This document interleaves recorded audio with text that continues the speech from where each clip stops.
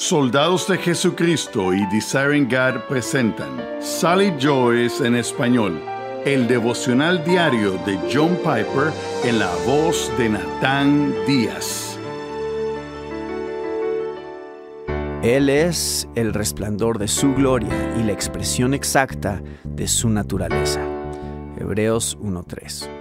Jesús se relaciona con Dios del mismo modo que el resplandor se relaciona con la gloria o del modo que los rayos de luz solar se relacionan con el sol.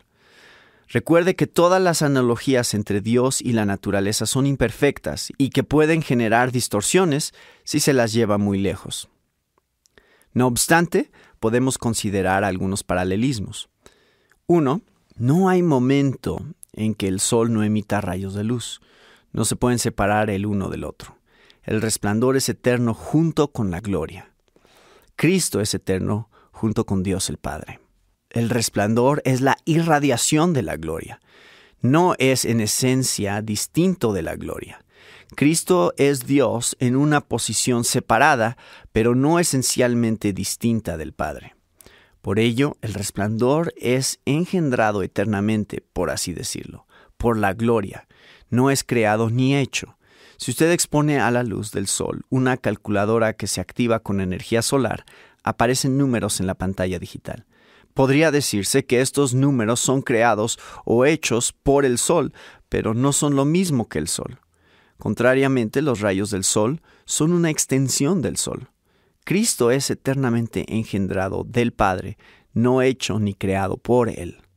Percibimos el sol mediante la visión de los rayos del sol. Del mismo modo, vemos a Dios el Padre al ver a Cristo. Los rayos del sol llegan aquí unos ocho segundos después de que parten desde el sol. Y la esfera de fuego que vemos en el cielo es la imagen, es decir, la representación exacta del sol. No porque sea una pintura del sol, sino porque el sol está irradiando su resplandor. Por eso lo animo a confiar en esta gran persona, a amarlo y a adorarlo.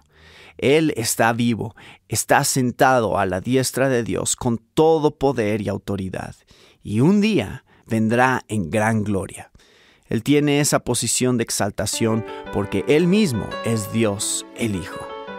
Gracias por escuchar Sally Joyce en español. Para disfrutar de este y otros recursos que ofrecemos gratuitamente, te invitamos a visitar la página de Soldados de Jesucristo en la web www.sdejesucristo.org.